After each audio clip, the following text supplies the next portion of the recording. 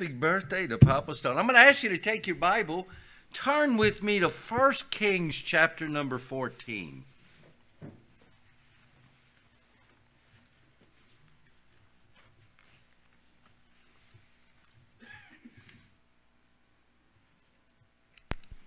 All right, I am on 1 Kings chapter 14. And if you found your place there and you're able to, will you stand with me as we read our text this evening.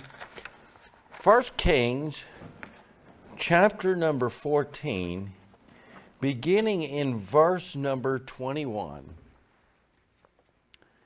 And Rehoboam, the son of Solomon, reigned in Judah.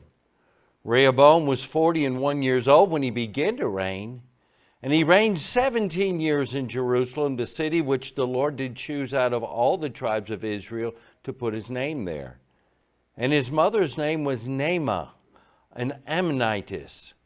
And Judah did evil in the sight of the Lord, and they provoked him to jealousy with their sins which they had committed above all that their fathers had done. For they also built them high places, and images, and groves on every high hill, and under every green tree. And there were also Sodomites in the land and they did according to all the abominations of the nations which the Lord cast out before the children of Israel.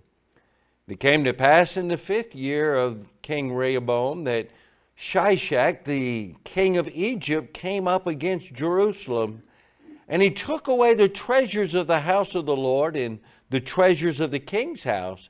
He even took away all, and he took away all the shields of gold which Solomon had made and King Rehoboam made in their stead brazen shields and committed them unto the hands of the chief of the guard, which kept the door of the king's house.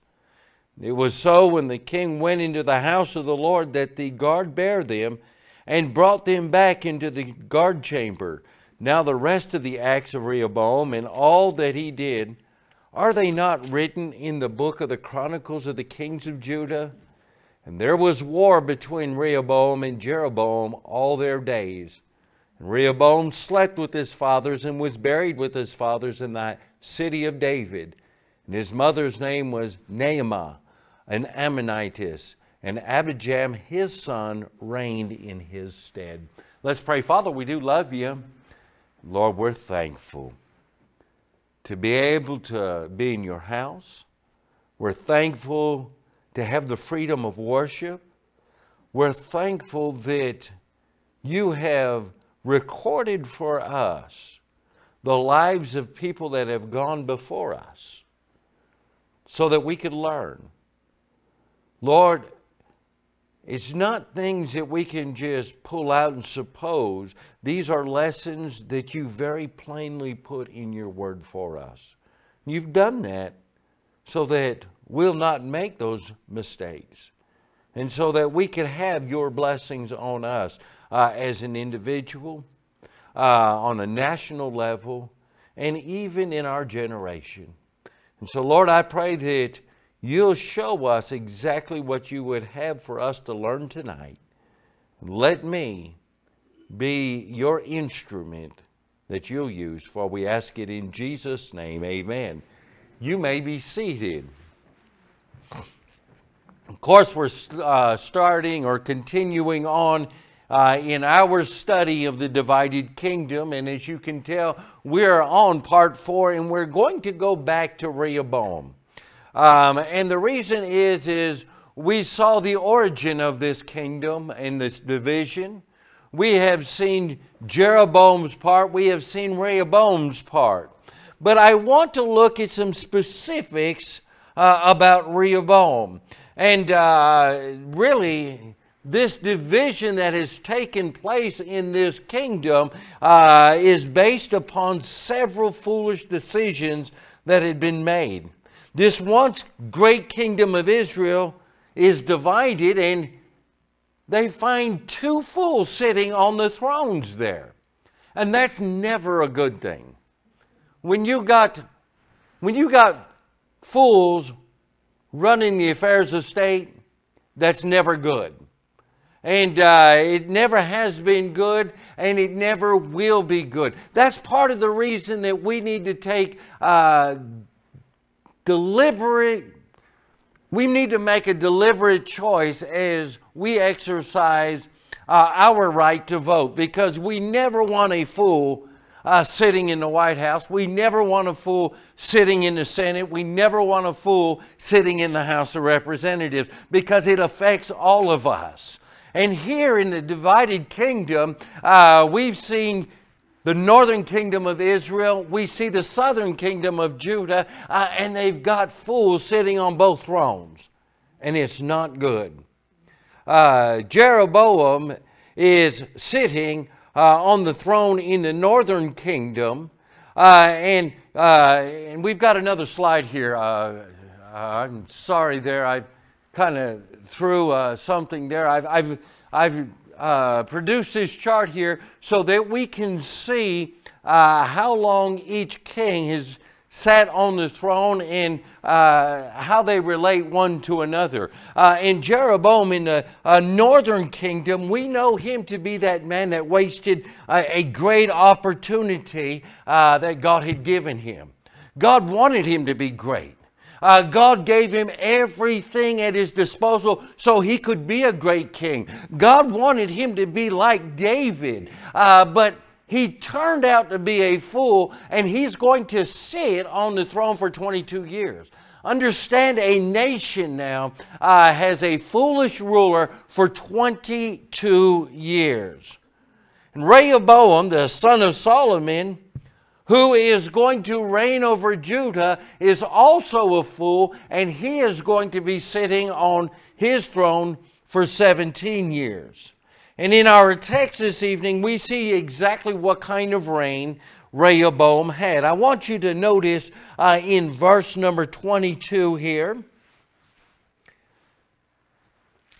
In 1 Kings chapter 14, verse 22, and Judah did evil in the sight of the Lord, uh, and they provoked him to jealousy with their sins which they had committed above all that their fathers had done uh, they're in bad spot.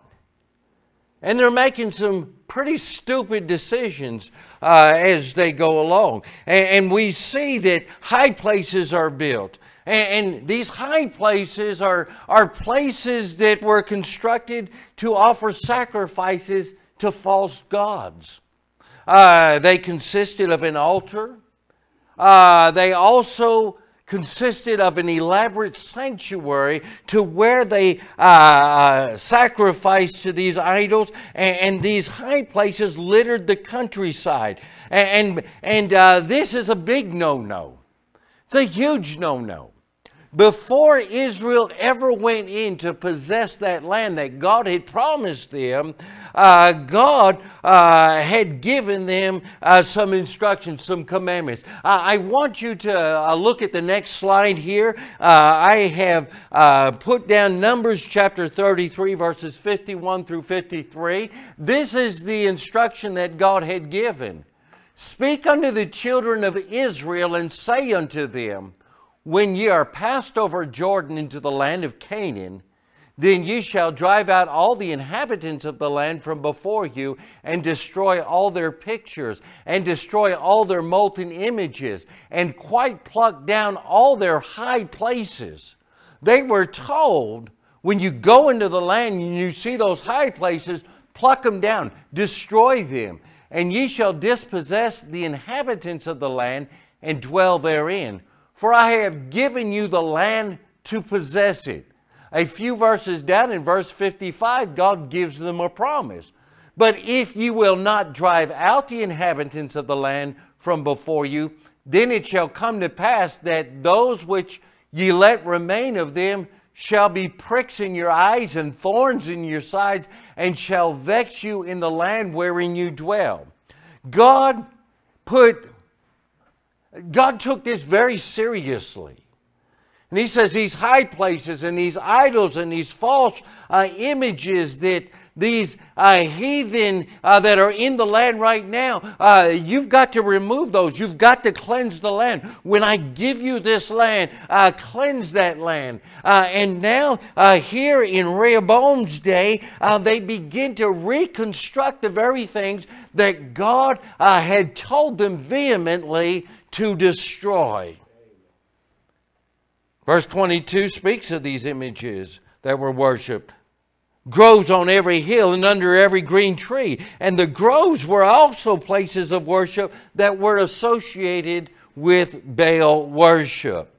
Now, in, in verse number 24, we also read about the Sodomites uh, in the land. Uh, for the very first time, uh, we see this inside the kingdom of Israel. Um, and they were all too familiar no doubt, with the judgment that this brings. Uh, one thing about the children of Israel, they liked history. They were proud of their history. And no doubt, they all remembered what happened when the Sodomites, uh, to the Sodomites in the days of Abraham. They remember Sodom. They remember Gomorrah. They remembered uh, how God responded to this abomination unto this sin. But now they've changed. And it seems to that this sin is now introduced into this nation for what appears to be the first time uh, as, since they've become a nation. And so I, I'm looking at the situation the condition here uh, in Israel. You've got two fools sitting on two thrones, you've got two kingdoms, and there's been a drastic change that has taken place among the chosen people of Israel. Idolatry and sin had become normal for them. But let me point out a key piece of information that will help to explain this, uh, especially uh, here in the southern kingdom. Verse number 21. And Rehoboam, the son of Solomon, reigned in Judah. Rehoboam was 40 and 1 years old when he began to reign, and he reigned 17 years in Jerusalem, the city which the Lord did choose out of all the tribes of Israel to put his name there. And his mother's name was Naamah, an Ammonitess. Now, that last part is very key here. Rehoboam's mother was not an Israelite. She was not a child of Israel. She was from Ammon. She was one of the wives that Solomon took from the heathen nations that surrounded them. And there's a lesson to learn from here.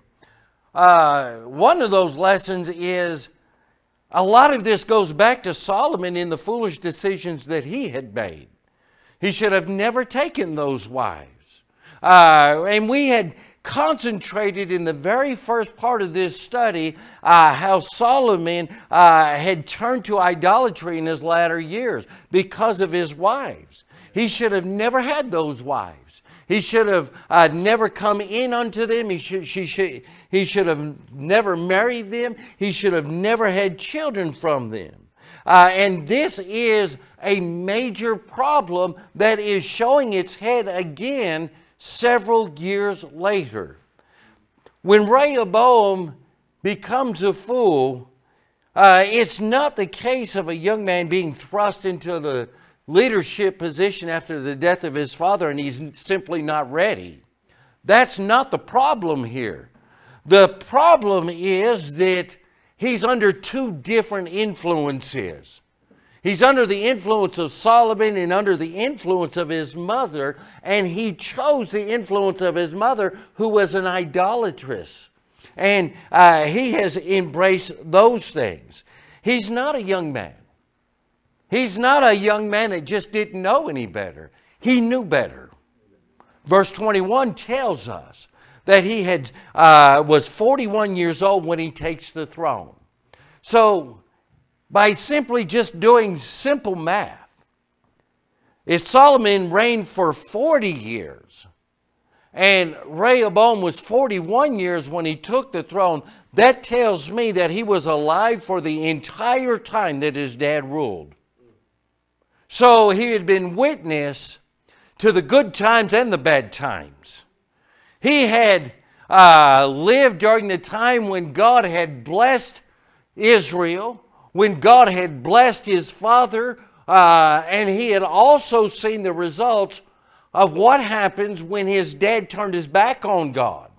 And when his dad began to experience all of these things and how God took his hand of blessing off of him, he has uh, lived through all of that. He knows what has gone on. And in spite of that knowledge, he decides that he is going to take on the characteristics that his dad showed and revealed in his latter years. And probably because of the influence of his mother. Uh, Rehoboam is a man that was raised under two different influences Solomon's wisdom and Naamah's idolatry. And this is exactly why God forbid the children of Israel to take wives uh, from around them. Uh, I want you to uh, hold your place here. Turn with me to Deuteronomy chapter 7.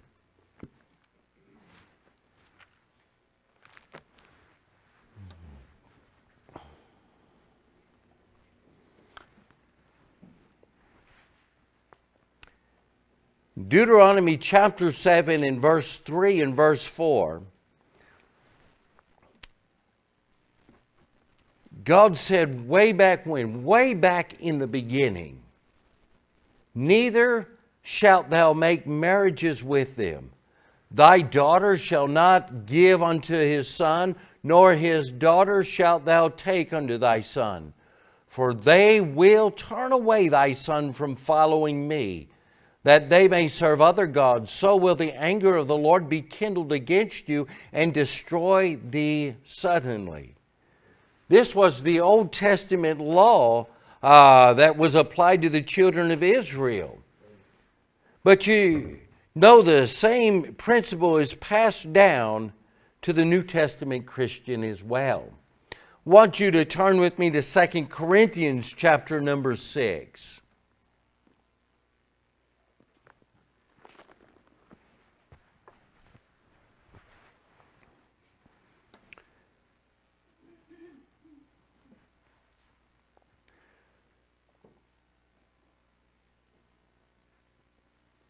2 Corinthians chapter 6 and verse 14, it is said, Be ye not unequally yoked together with unbelievers. For what fellowship hath righteousness with unrighteousness? And what communion hath light with darkness? The verses of Scripture we read in Deuteronomy, uh, that was Old Testament law that was applied to the children of Israel. But this passage in Second Corinthians chapter number 6 applies to believers. Uh, but instead of it applying to marriages between nationalities, it applies to marriages between the saved and the unsaved. Why is that? Because you're, uh, you've got two different influences there. Uh, you don't see eye to eye. You don't see eye to eye about life, about eternity, about a lot of different things. And I, I, I understand that uh, before uh, sometimes two unsaved people get married uh, and one gets saved, the other doesn't get saved. They always run into problems. And you, you just can't really prevent that situation from happening. But if you're a saved man or a saved woman, and you begin to uh, court somebody of the opposite sex who is unsaved, uh, understand that while love covers all things in the beginning, it doesn't in the end. You're going to have problems. Well, preacher, I'm going to change them. I'm going to change her. It doesn't really happen that way, does it? Pastor, you don't understand.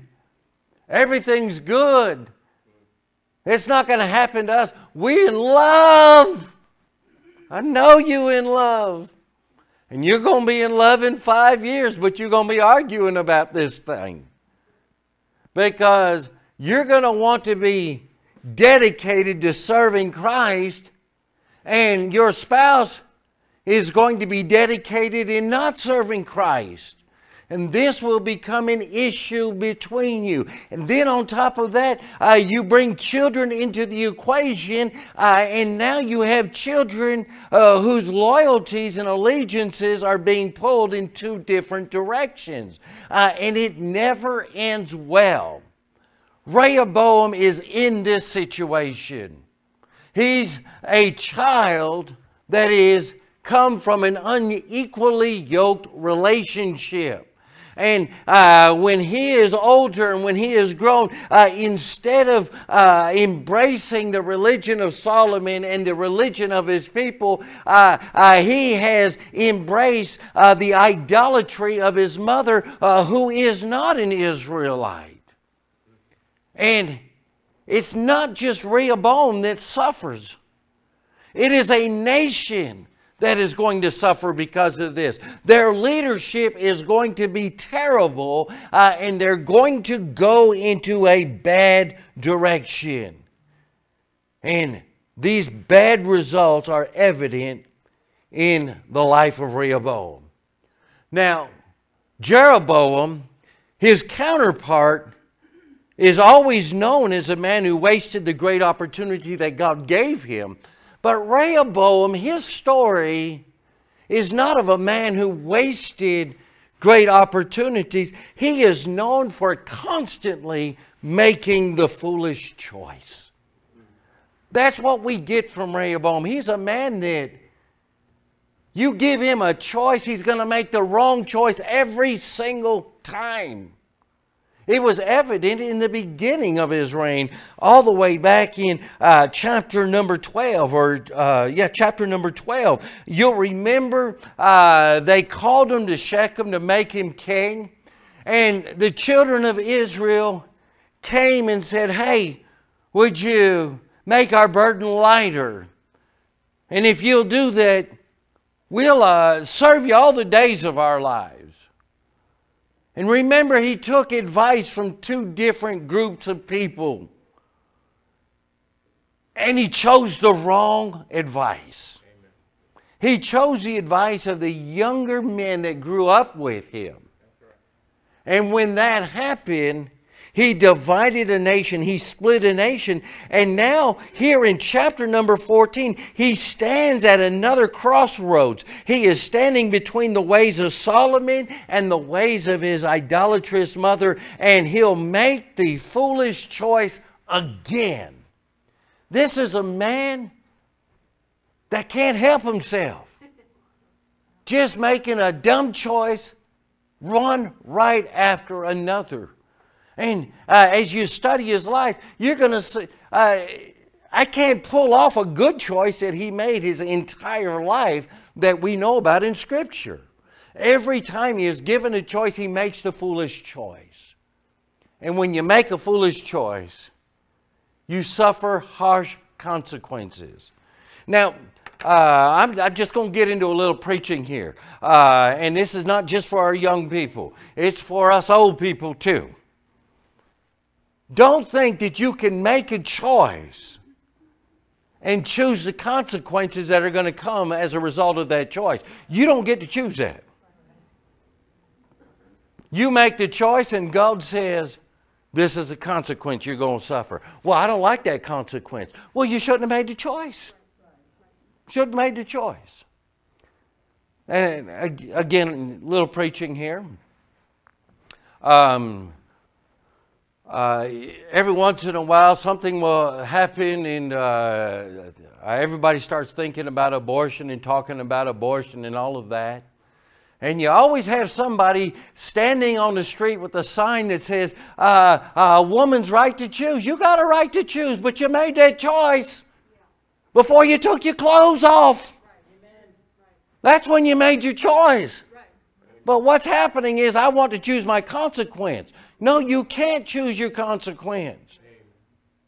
You made a choice, you've got to live with the consequence. And, well, I can choose to kill this baby. You can choose that. That bring another consequence.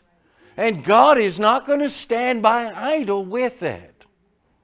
And, he, and, and we're a nation that has put our head in the sand uh, on this issue a lot of times, uh, and God is taking His hand of blessing off of us as a nation, and that's one of the reasons why.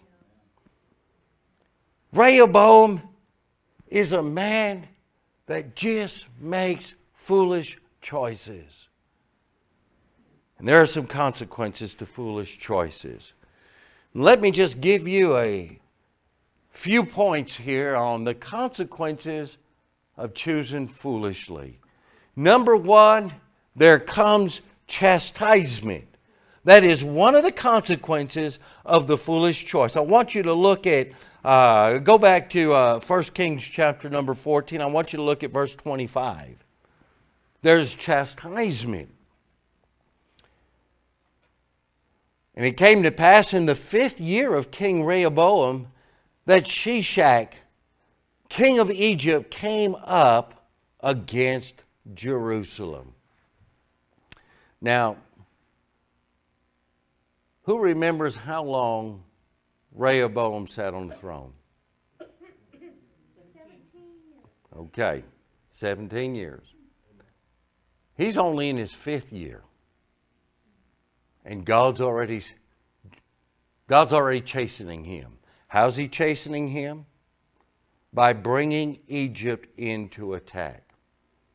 Now, if you know anything about history during this time, Egypt was a very strong dynasty. You didn't want Egypt coming after you. And Egypt came in that fifth year. And understand that this type of invasion has not happened to Israel in a lot of years. In fact, since the time that David made Jerusalem his capital, the walls of Jerusalem had never been breached. This was a strong city. But now God's going to send the Egyptian army to deal with Rehoboam. What do you mean God's going to send them? Well, you know, you got to get the rest of the story. So I want you to turn with me to Second Chronicles chapter 12.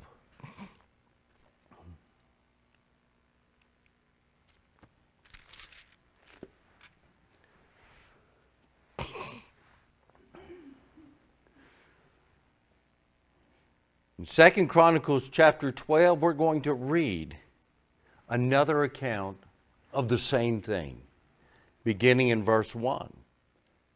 And it came to pass when Rehoboam had established the kingdom and had strengthened himself, he forsook the law of the Lord and all Israel with him. And it came to pass that in the fifth year of King Rehoboam, Shishak, the king of Egypt, came up against Jerusalem because they had transgressed against the Lord with 1,200 chariots and threescore thousand horsemen, and the people were without number that came with him out of Egypt the Lubims, the Sukkiims, and the Ethiopians. And he took the fenced cities which pertained to Judah and came to Jerusalem. Then came Shemaiah the prophet to Rehoboam and to the princes of Judah that were gathered together to Jerusalem because of Shishak, and said unto them, Thus saith the Lord, Ye have trans- you have forsaken me, and therefore have I also left you in the hand of Shishak. Whereupon the princes of Israel and the king humbled themselves, and they said, The Lord is righteous.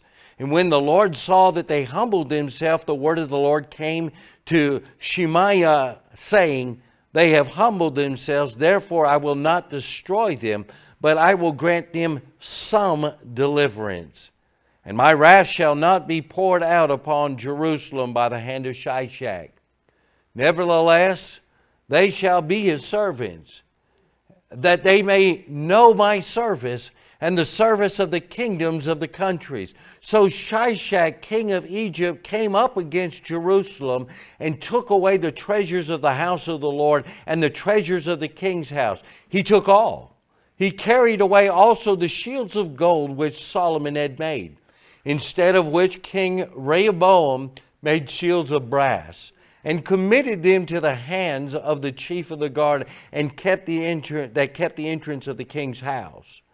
And when the king entered into the house of the Lord, the guard came and fetched them and brought them again into the guard chamber. And when he humbled himself, the wrath of the Lord turned from him, that he would not destroy him altogether. And also in Judah things went well. So uh, we see here in Second Chronicles chapter 12, there's a reason that Egypt has now come and attacked. And they're very clear to us. They forsook the law of God in verse 1. They transgressed against the Lord uh, in verse 2.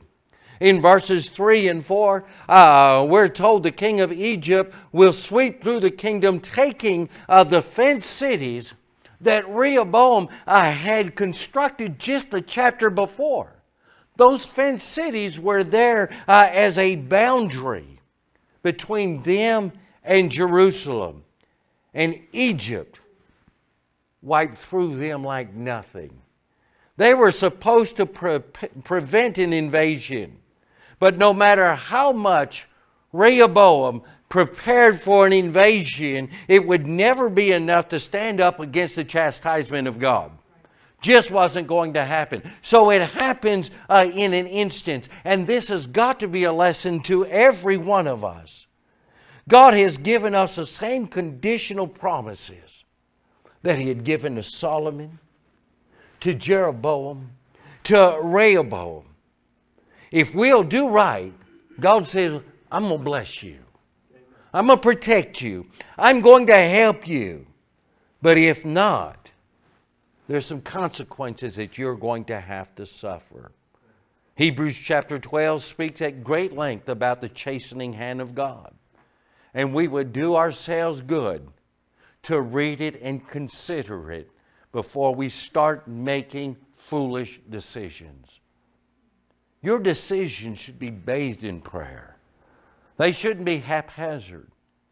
Our decisions should be made uh, with the consideration that is this going to please God or am I deciding this so that I can please my flesh? When we start to think on a spiritual plane, our decisions are going to become a little bit different. And especially if we think, if I'm doing this against the will of God, I am inviting chastisement into my life. Rehoboam is a man that constantly makes foolish choices and it leads to chastisement. Number two, I see fear. Uh, in Second Chronicles, we're there, chapter 12, verses 5 through 7. Then came Shemaiah the prophet to Rehoboam and to the princes of Judah that were gathered together, uh, uh, that were gathered together to Jerusalem because of Shishak, and said unto them, Thus saith the Lord, You have forsaken me and therefore have I also left you in the hand of Shishak. Whereupon the princes of Israel and the king humbled themselves, and they said, The Lord is righteous.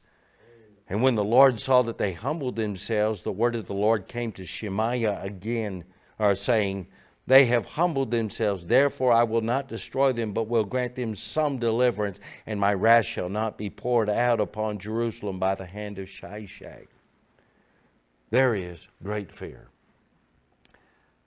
And I can understand the fear. You wake up one day, you look out over the walls, and you see a whole lot of dudes out there with swords and spears and chariots. And it ain't the Avon lady calling, it's Egypt. And they're scared. They're absolutely terrified. And of course, that fear is compounded when God sends his man. and says, It's over with. Because you've forsaken me, you transgressed my law. You have built high places, you have worshiped idols, and now you're going to suffer. Uh, of course, they were feared. Have you ever wondered why they didn't listen before? No doubt. There had been other men that had come and said, Hey, what are y'all doing? What are you doing? The prophet that pronounced judgment on Jeroboam, uh, Ahijah, and we had looked at him a, a couple weeks ago. In all probability, he is no longer living in Shiloh. He is now living there in Judah. Because Jeroboam had cast out all the priests and all the Levites, and they had gone down to the southern kingdom. No doubt there was a preacher there. Shemaiah, probably not the first time that he had come. But they just never listened. Rehoboam and the princes of Judah refused to listen until trouble came. And when trouble came, they wanted to get out of it. But you know what? It's too late to avoid trouble. And this time, when the man of God comes and says, Hey, you got trouble, they listen. Amen. You know why they listen? They're looking over the wall and they're seeing a whole lot of people out there. And they humbled themselves. Why did they humble themselves? Because they're afraid. And by the way, humbling yourself is not the same as repentance. And when they humbled themselves, God did give them some deliverance, according to verse number seven. He didn't deliver them, but He gave them some deliverance. So, when you make a bad decision and, and you constantly are repeating your mistakes. You've got chastisement to deal with. You've got fear to deal with. But you also got loss. Pick it up in verse 7. When the Lord saw that they humbled themselves, the word of the Lord came to Shemaiah, saying, They have humbled themselves, therefore I will not destroy them, but I will grant them some deliverance and my wrath shall not be poured out upon Jerusalem by the hand of Shishak. Nevertheless, they shall be his servants, that they may know my service and the service of the kingdoms of the countries. So Shishak, king of Egypt, came up against Jerusalem and took away the treasures of the house of the Lord and the treasures of the king's house. He took all. He carried away also the shields of gold which Solomon had made, instead of which King Rehoboam made shields of brass and committed them to the hand of the chief of the guard and kept the entrance uh, of the king's house. There's chastisement, there's fear, now there's loss. They became the servants of Egypt in verse 8, and their treasure was taken in verse number 9. Now, I want you to stop and think about this. This treasure is all that stuff that Solomon had accumulated during his 40 year reign.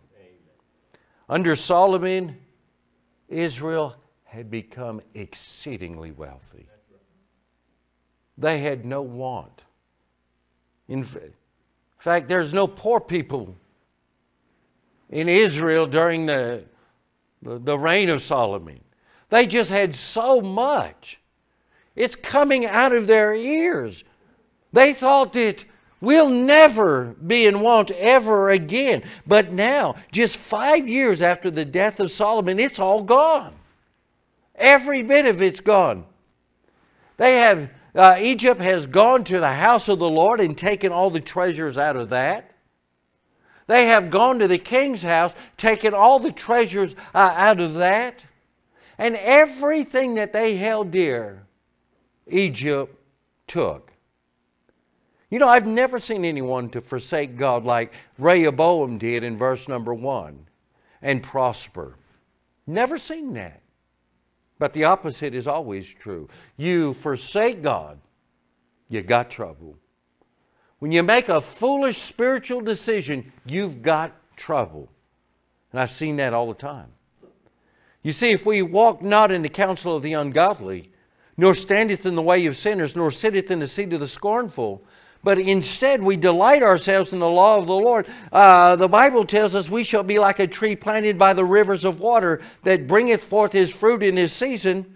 His leaf also shall not wither, and whatsoever he doeth shall prosper. Here's the problem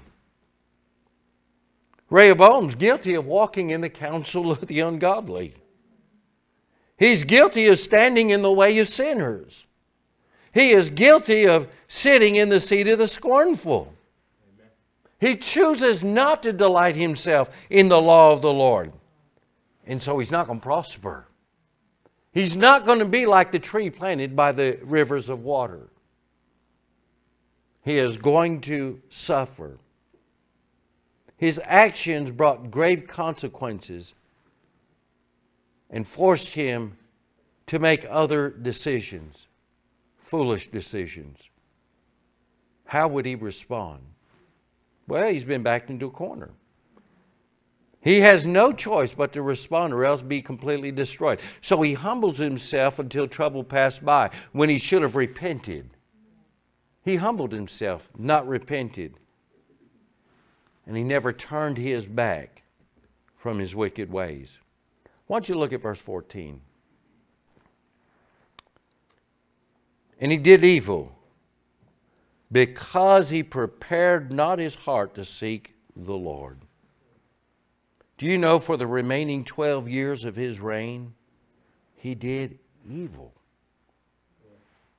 Five years into his reign, he comes to a crossroads. He comes to a defining point. He comes to a place where he has the perfect opportunity to repent to get things settled and to go on and live for the Lord. But all he does is humble himself. And when trouble's gone, he goes back to doing evil. You know, for 12 years, God could have used him for those 12 years. He could have been somebody great for those 12 years. But instead, he chose not to. He came face to face with a perfect opportunity to change his ways, to get things right with God, and he says, No, I'm not going to do that. Instead, he did exactly what was necessary to get out of trouble with no intention of turning from his wicked ways. Kind of reminds me of a lot of people that have come down that road since Rehoboam. Amen. Trouble comes, and we know exactly what to say until trouble leaves. That happens in church all the time. Happens in families all the time. Um, my brother's an expert at this. I'm telling you, my, my brother is an expert at this. Just tell you a little story here. You, I know you probably wait for the stories. And I don't make these things up. I promise you, I don't make these things up. But my brother is very much like this. He makes foolish decision after foolish decision after foolish decision. My brother had been in prison three times before he was 30. All because he made foolish decision after each. I, just all the time. And my brother has become an expert now at crying and humbling himself just so he can get out of trouble. I remember he got out of prison at uh, uh, the last time, and uh, we opened our home up to him and his wife. And uh, they lived with us. He came to church. He made a profession of faith. At the time, I was the assistant pastor uh, of my church. And um, I, of course, about every other Friday, he'd get his paycheck and he'd go off, and, and he wouldn't come home for the weekend. You know, he'd be in, well, no telling where he was at. And of course, it caused problems in the home. And uh, now his wife, his wife was a mean woman. I mean, she was mean. I, and she only put up for it so long. And uh, they'd fight all the time. And uh, eventually they would call Pastor. And you know, Pastor just kind of got sick of it all. You know, this is going on every week. So he'd ring me in my office. He says, Hey, it's your brother. You go deal with it. So this is, this is kind of how I got into some of my counseling expertise. And I learned real quick that he's faking it. And I'd go and sit down with them, ask questions, and they'd answer questions. Uh, and he'd say something and then uh, contradict himself, and I'd ask him about the contradiction. And eventually he'd back himself into a corner. And when he realized he backed himself into a corner, he'd start crying. And, uh, oh, I'm sorry, I've sinned against God in, in all of this. And, you know, uh, a couple times, you know, he got away with it. But after a while, I realized this is a pattern. And one time they called me, or they called Pastor, and Pastor says, You go deal with it. And I go there, and this woman got a knife after him. I mean, she's chasing him around with a big old kitchen knife. And uh, this is Ministry 101, you know.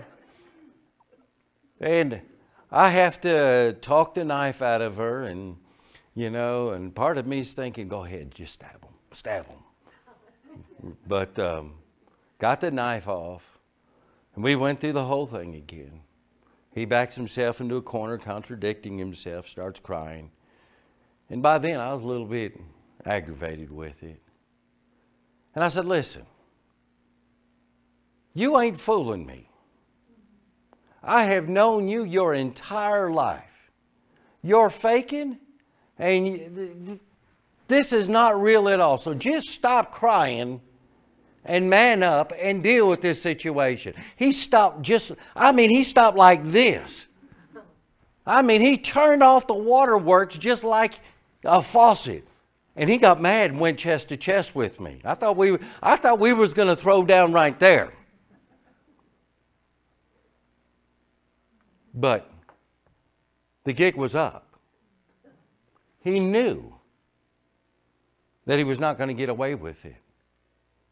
But you know, as absurd as that story sounds, people do that all the time. When I get in trouble, I'll, uh, I'll humble myself. I'll, I'll, I'll, shed a few tears. Uh, but I have no intention uh, of ever turning from my wicked ways. God sees that. Amen.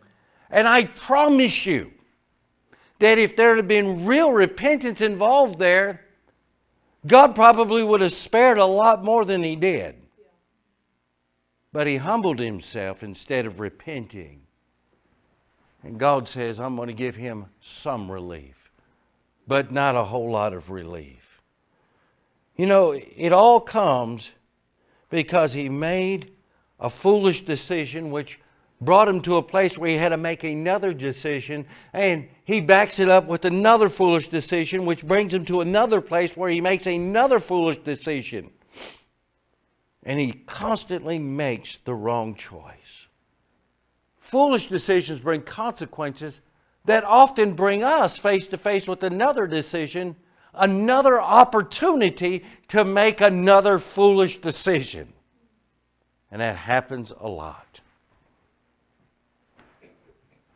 We look at these kings and we see the foolishness of many of them. But I purposely have address these messages in such a way to where we don't look at, well, what a dumb king. I want us to recognize we make the same mistakes. And we're going to face the same consequences. He's not the only one to make decisions, and he's not the only one to make foolish decisions. Every one of us, me included, is subject to making a foolish decision. How do I get away from that? You better, as soon as the Spirit of God speaks to you about your choice, you better say, Oh, thank you, Lord. I almost made a dumb choice. And even when doing the right thing is a hard thing to do, do the right thing. Because oftentimes we think, well, if I do that, people are going to think this or, or that. Uh, don't worry about that. Just do the right thing. Do the right thing. I promise you, right now, today, if Rehoboam is thinking about his life on earth, he's probably thinking about all the dumb things that he chose to do. And he's probably thinking, I wish I had that over again. But we don't. We can just make the choice that's in front of us. Make the right one. Don't be guilty of constantly making the wrong choice. every head bowed and every eye closed. Father, we do love you. Thank you for your goodness and your mercy. Lord, I pray that you'll just bless our generation. Bless our families. Lord, please do that. Our young people. Lord, honestly, our generation has been tough on some of our young people because of the decisions that they're making. But oftentimes we're critical of somebody while doing the same thing. Lord, as adults, we make poor choices. Help us to make good choices, spiritual choices as adults. And teach our children how to make those choices as well. Lord, there's people in this building tonight that their next decision that they'll make could be critical for the rest of their lives. Pray that you give them wisdom, give them direction. Lord, I pray, Father, that they'll know enough to make a spiritually informed decision. We'll be careful to thank you and praise you, for we ask it in Jesus' name. Amen.